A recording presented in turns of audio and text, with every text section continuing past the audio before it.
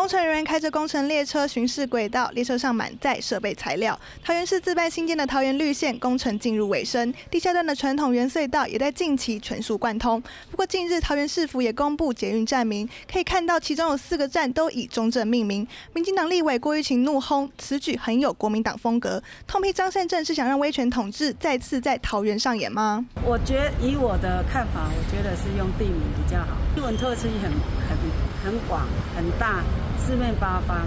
啊，那。